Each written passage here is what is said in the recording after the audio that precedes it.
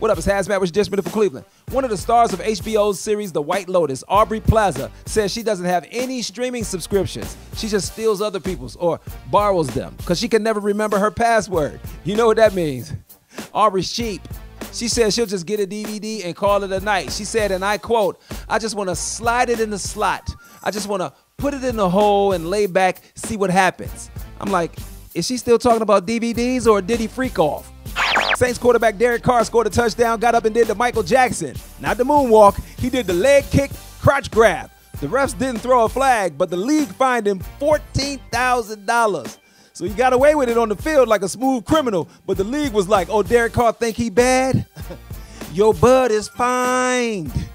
Yeah, that was Derek Carr that made so much NFL money, he probably laughed at that 14,000 like, this has been HazMatt, which you just been from Cleveland.